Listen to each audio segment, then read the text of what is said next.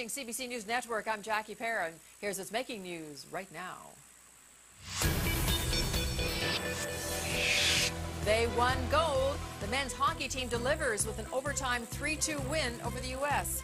And at the closing ceremony tonight, Joanie Rochette is the Canadian flag bearer. And that is the latest from CBC News Network. Up next, the passionate eye, the Royal Riders.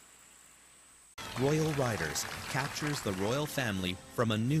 He thought he'd expire if he couldn't play polo. See how the royals connect through this common passion. That's Royal Riders,